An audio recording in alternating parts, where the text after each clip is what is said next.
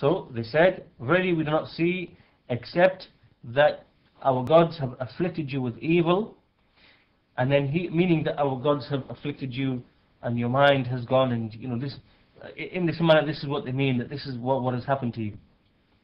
And so what did, what did Hud reply? Hud replied, Verily I call Allah as a witness and I ask you to witness that I am free from that which you associate as partners in the worship of Allah. Associate, associate others besides Him as partners in worship. I'm free from that. So therefore plot all of you together. All of you just plot whatever you want and then don't, don't, don't hesitate, don't wait.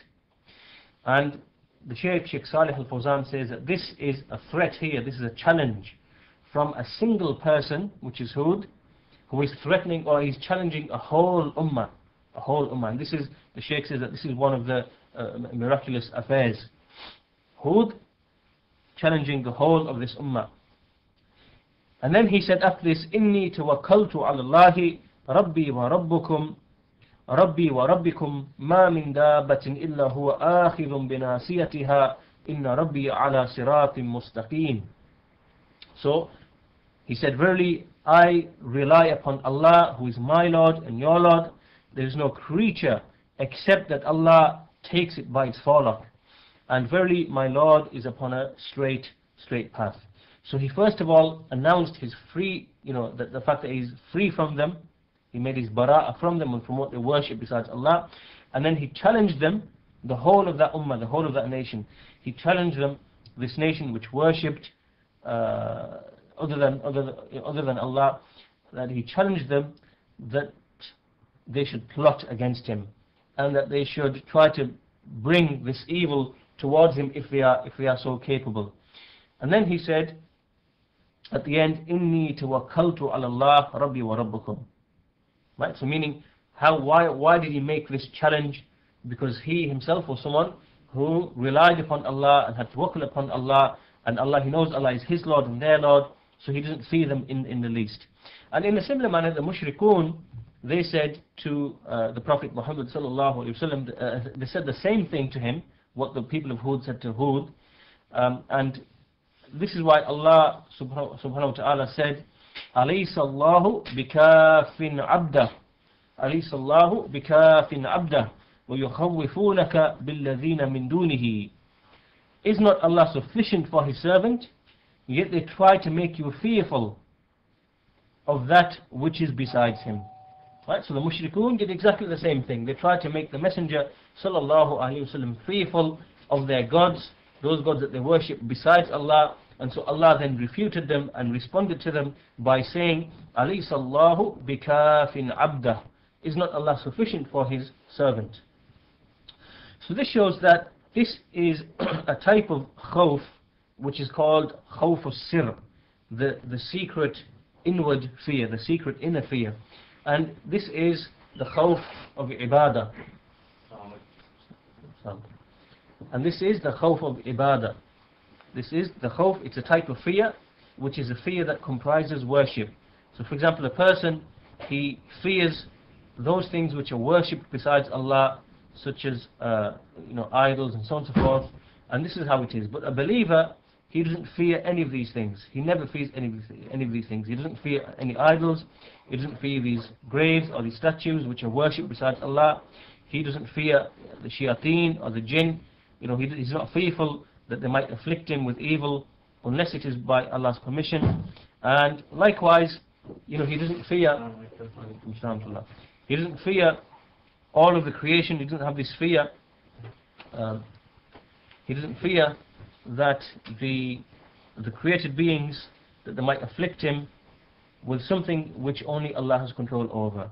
Like for example, a disease or cutting off of the, the, the, the, sustenance or other such things. So this type of fear that a person feels in his heart, this is one of the types of fear, and this type of fear is such that it would nullify his the, the, the, the belief in uh, monotheism and tawheed. And this is when a person he has fear of something in which no one has the control except Allah. Right? So that's a type of fear that would nullify uh, his monotheism. So for example, a person would fear that uh, an idol or a statue or let's say a saint who is buried in the grave, that if he doesn't pay homage to them, if he doesn't worship them, that as a result of that he will become ill or that he will lose something from his wealth or that some calamity will befall him. So here this is an instance of where the fear that's in his heart is a fear which is the fear of something or the fear of someone in something in which only Allah has control over. Right? So only Allah has control over life and death and sustenance and illness and disease and so on and so forth. So now a person, when he fears something besides Allah in those things in which only Allah has control over, this is a type of fear that is absolutely prohibited and it's a type of fear that would negate a person's uh, Islam and would expel him from, from the fold of Islam.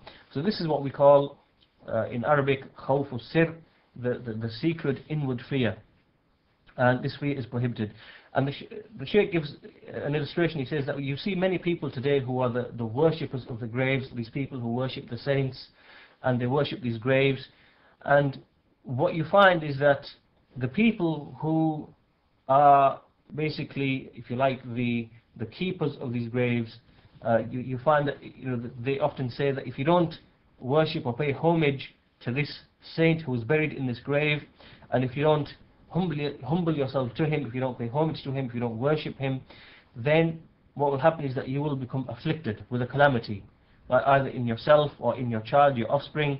And in this manner, you find that the ignorant people who don't know any better, they, they are affected by this fear-mongering, and they then start to pay homage to these graves, so they travel to these graves, or where these so-called saints are buried, and then they start performing acts of worship which are directed to these graves, and they start, and in, in, in this manner, this, this is how it happens. But you find that the real intent behind the, you know, the, the, the, the, these people who worship the graves and these, these people who are the keepers of the, of the grave, so to speak, is really just to consume the wealth of the people in falsehood.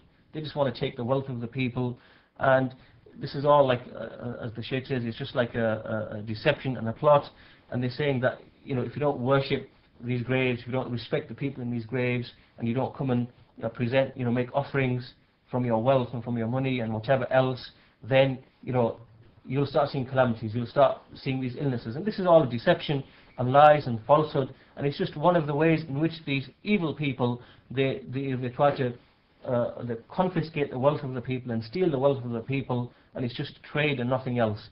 And this this is how unfortunately you see a, lot of a lot of this happens a lot of this happens in many uh, different uh, places. And you know, so they make these claims that if you don't try to seek to be near to these uh, saints, then you know you, you, your wealth will decline and your you know the the, the, the, like your tillage that you've planted will decline and your offspring will, will, will, will be afflicted and all these claims and this fear-mongering, and in this manner, the ignorant people who don't know any better, they're affected, and then they, you know, come and make these offerings, and they come and worship these uh, saints, and so on and so forth.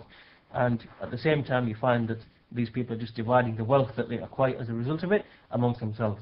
When you find it, it happens in a lot, lot of the Muslim countries, and you even find it happens in the non-Muslim countries where you have, you know, certain places, for example, where, um, you know, maybe someone made a claim that uh, Mary or Maryam alayhi salam was claimed to have been seen or in some place where the statue, uh, blood came from a statue or something. And you have, it, you have it happening all over the place. And in reality, this is all just falsehood. And it's just a means by which you know, the, the wealth is taken from, from, from, you know, from the people.